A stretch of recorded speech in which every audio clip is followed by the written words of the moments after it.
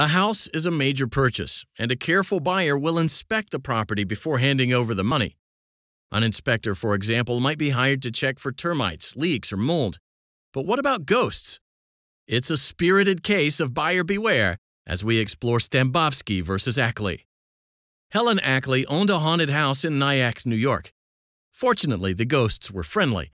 Ackley said they would leave people little gifts, such as rings or coins.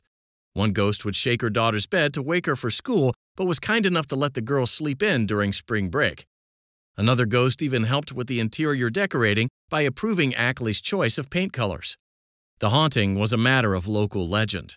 The house was featured in a walking tour of the town's spooky spots, and Ackley publicized the ghosts in the local newspaper and a national magazine.